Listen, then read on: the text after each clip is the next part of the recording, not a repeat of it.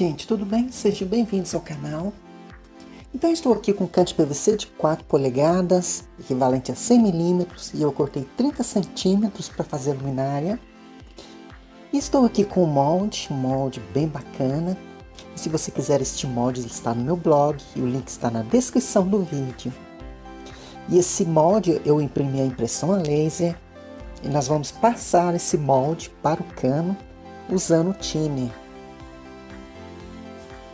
Então aqui estou prendendo ele com o molde voltado para o cano, estou prendendo com a fita crepe. E aqui vou usar um thinner. Esse thinner é forte, é o mais forte que está tendo, que é o Super 8. Super 8000 é um dos mais fortes que tem. E ele é para tintas automotivas, diluição de tintas. Então é um thinner muito forte.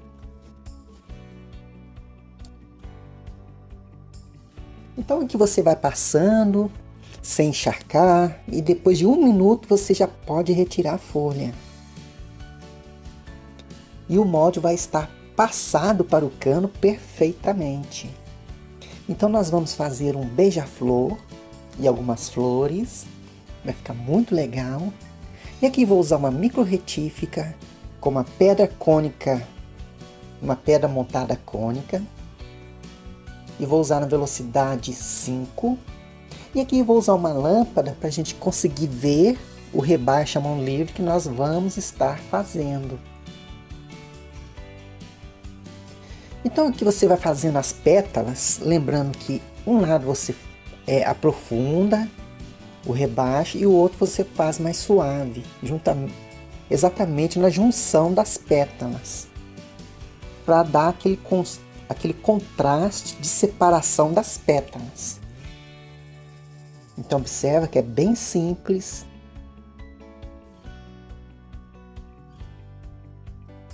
Então, onde vai ter a divisão das pétalas, você aprofunda e a outra parte você faz suave.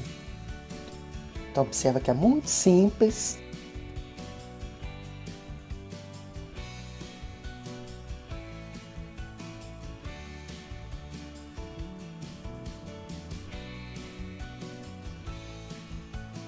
E agora as folhas você faz o mesmo esquema. Uma parte você clareia e a outra você escurece. Então aqui vamos partir para outra flor, para outra, outras pétalas. Então lembrando que, lembrando que uma área você clareia e a outra você deixa mais suave, que é a divisão das pétalas. Então observa que é muito simples,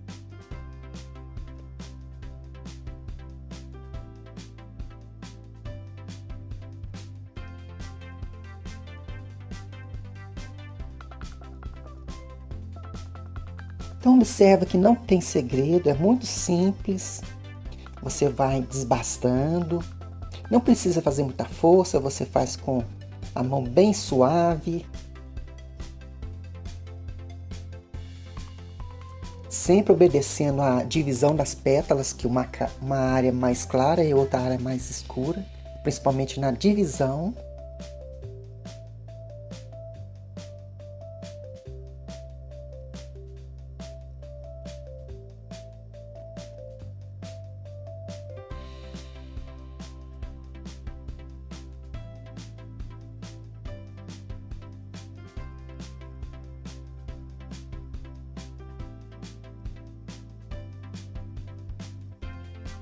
Essa é, pedra montada cônica ela é muito boa, ela é ótima para fazer esse rebaixo à mão livre, porque ela tem mais aderência. Ela com, com ela você consegue fazer um trabalho mais rápido, mais preciso. Então você vai fazendo aqui as pétalas. Então está quase pronta.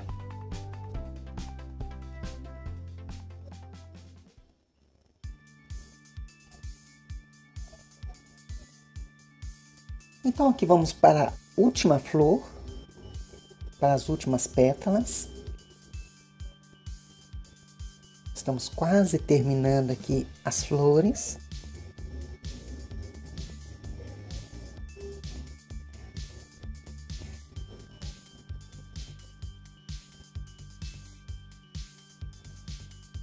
Bom, agora eu vou usar um disco de corte, um disco diamantado, que nós vamos fazer aqui é, aqui o caule aqui da, das folhas e nós vamos fazer aquela divisão das folhas também. Observa que é bem simples, mas uma coisa que você tem que tomar cuidado, que esse disco é muito perigoso. Então você tem que tomar muito cuidado para não cortar o dedo. Você faz com muita calma, bem, bem tranquila, porque esse disco é muito perigoso. E faz com bastante cuidado também para não errar. Então prontinho, agora eu vou usar aqui a ponta diamantada fina, que nós vamos fazer aqui é, o centro aqui da, da flor. Que são aqui o, os pólens aqui da, da flor.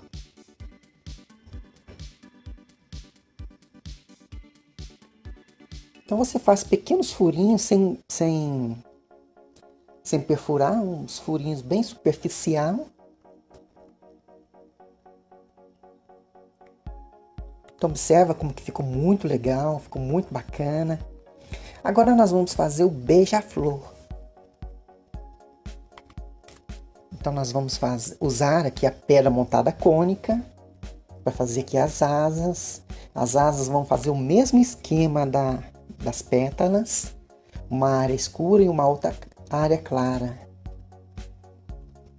A divisão você deixa mais suave e a outra área você aprofunda mais o rebaixo. Então observa como que é simples.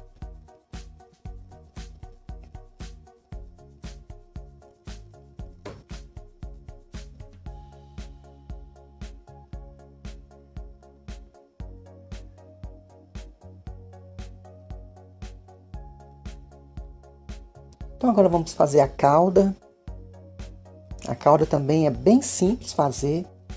Você aprofunda as áreas claras e suaviza a divisão entre as, as penas aqui do nosso beija-flor.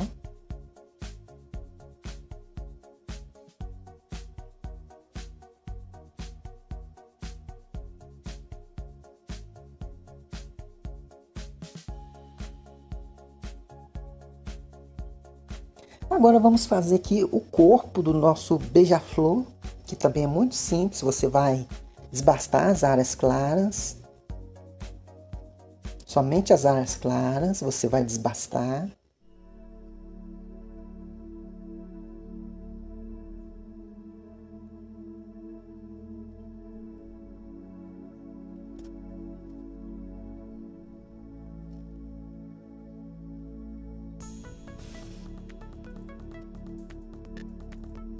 Então, somente as áreas claras você vai desbastar com muito cuidado.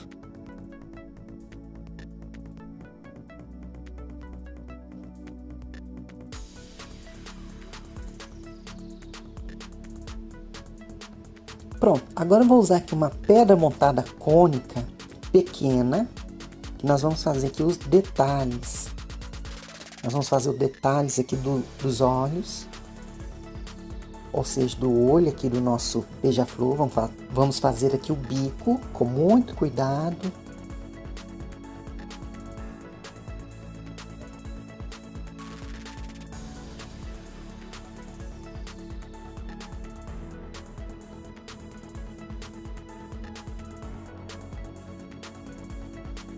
Então prontinho, o olho já está pronto. Agora vamos usar aqui uma ponta diamantada que nós vamos fazer pequenos furos, os pequenos pontilhados sem perfurar, os pequenos pontinhos, que vai simular aqui a plumagem do nosso beija-flor.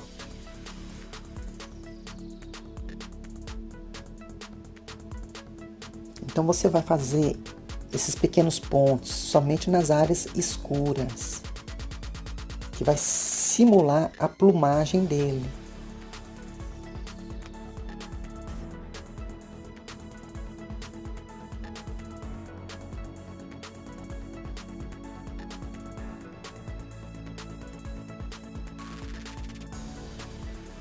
Então está pronto aqui a nosso, o nosso beija-flor, as nossas flores. Prontinho, agora já posso tirar a lâmpada. E agora nós vamos fazer aqui uma coroa vazada ali, com furos aleatórios.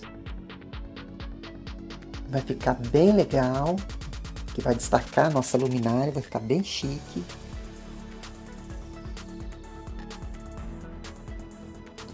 Essa coroa, apesar de ser bem fácil fazer, é uma coroa simples, ela tem um, um destaque bem bacana para a luminária.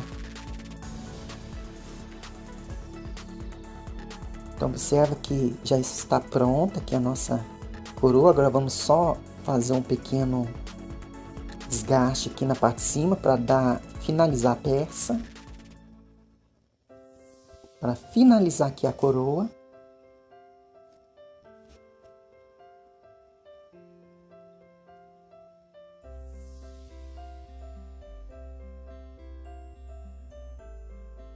Então prontinho. A coroa está pronta. Agora eu vou fazer aqui pequenos detalhes, aqueles pontinhos, como sempre eu faço, principalmente para você que acompanha o canal. São pontinhos bem simples, mas que dão um efeito muito bacana para a luminária. Então está quase pronta a nossa luminária. Agora vamos fazer aqui os cortes tanto nas flores quanto uma parte do beija-flor que nós vamos puxar, que vai dar um aspecto 3D para a nossa luminária. Então vou fazer aqui primeiro o corte aqui das flores. Lembrando que você vai cortando e ao mesmo tempo já vai retirando a rebarba.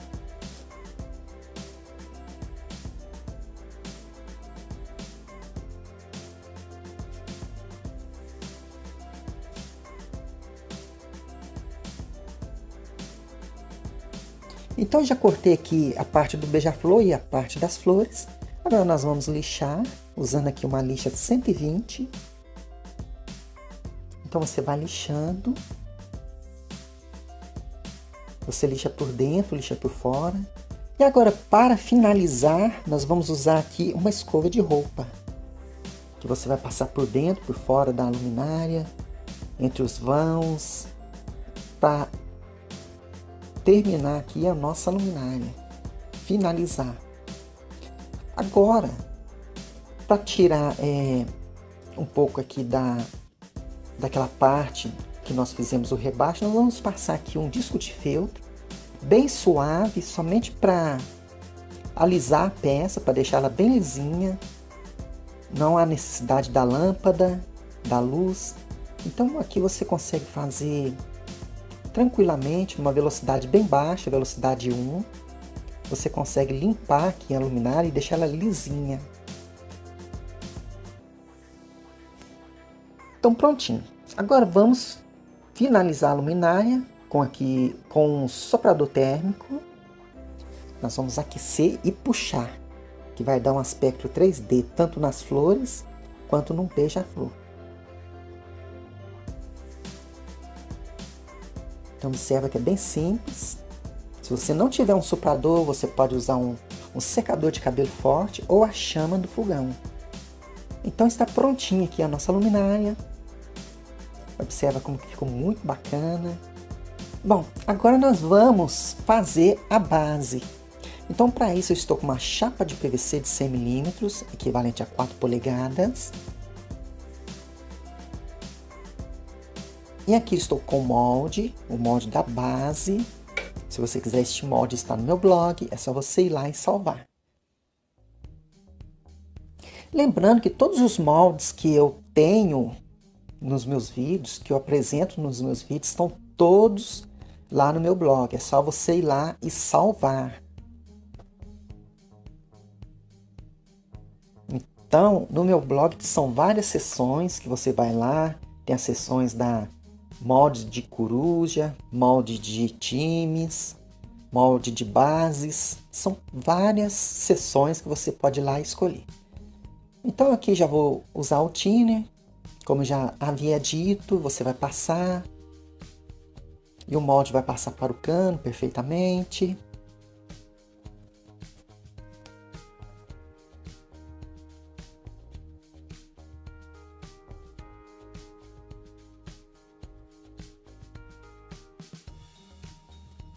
Então prontinho. O molde foi passado para o cano perfeitamente. Agora é, nós vamos usar aqui a micro retífica com a ponta diamantada. Lembrando que essa ponta diamantada é ótima para fazer os cortes, para tirar a rebarba.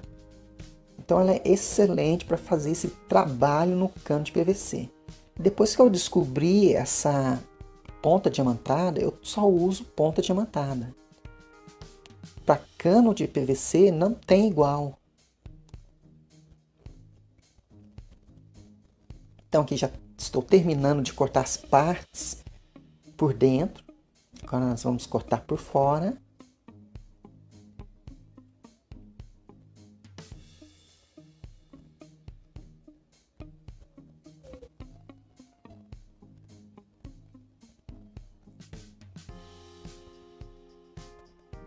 Então prontinho, já terminei de cortar.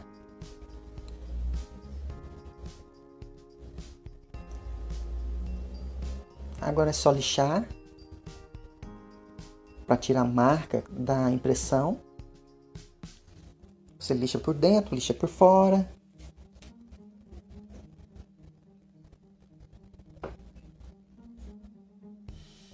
Usa a escova de roupa para finalizar a limpeza.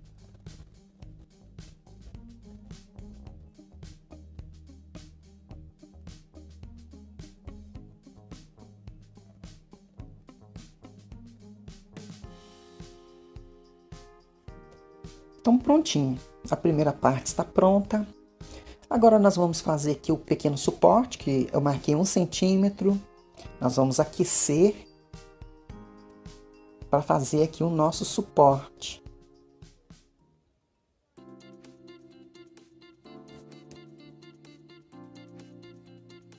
Então você aquece usando o soprador térmico usando sempre uma luva de proteção. Prontinho.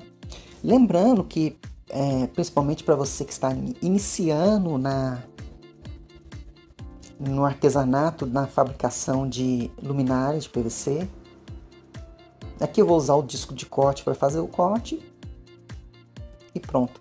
Então, é, você que está iniciando, é sempre importante e obrigatório você usar o kit de segurança, que é a máscara de proteção e o óculos de proteção, porque o pó do PVC é muito perigoso para a saúde. Então sempre use máscara e óculos de proteção. Aqui eu fiz um pequeno ponto para passar a fiação. Vou usar uma, uma super cola instantânea para nós colarmos aqui o pequeno suporte. Então você cola, centraliza bem e prontinho. Agora é só fazer a instalação elétrica. E para isso eu vou usar uma, uma tomada pronta. Vou passar aqui o fio naquele pequeno aquele pequeno corte que nós fizemos.